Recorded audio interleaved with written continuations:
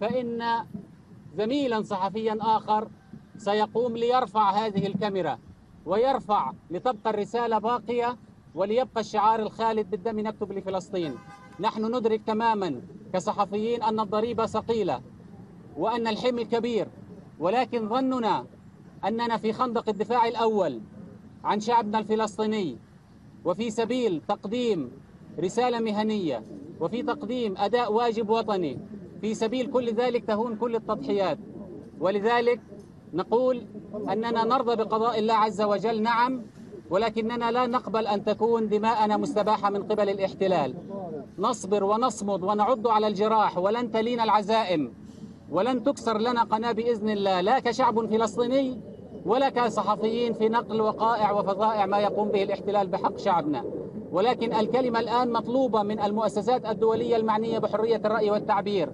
والذي يشجع الاحتلال صمتها وسكوتها على كل هذه الجرائم وعدم التحرك. ولذلك نقول في وسط هذا المشهد مطلوب منها اليوم أن تتحرك عاجلا لتلجم الاحتلال من الاستمرار في اعتداءاته على الصحفيين ولتوفر للصحفيين كل سبل الحماية وأقلها إدخال معدات السلامة المهنية التي يمنعها الاحتلال منذ سنوات. نترحم على شهدائنا شهداء اليوم شهداء الحركة الإعلامية الفلسطينية وشهداء شعبنا في هذا العدوان.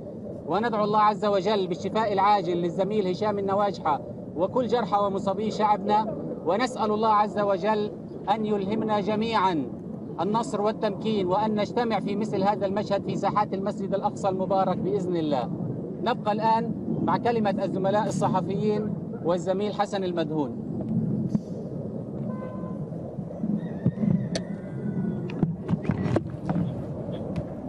السلام عليكم. بقلوب مؤمنة بقضاء الله وقدره.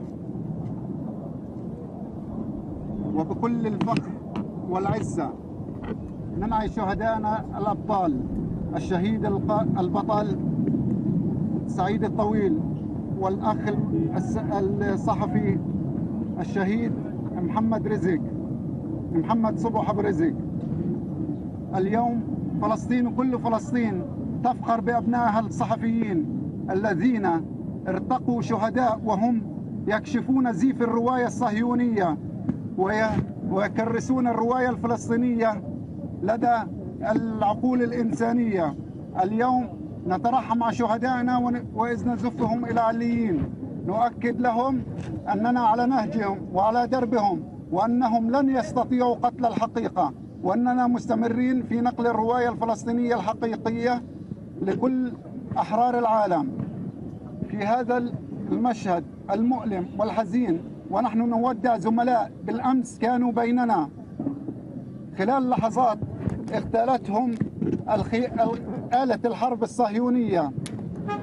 نطالب الاتحادين الدولي والعربي للصحفيين بأخذ دورهم الحقيقي في توفير الحماية للصحفي الفلسطيني. من خلال محاسبة وملاحقة مجرمي الحرب الصهيونية الذين يؤكدون في كل اعتداء أن اعتداءاتهم ممنهجة ومقصودة لتغييب الصحفي الفلسطيني لتغييب صورة فلسطين عن المشهد.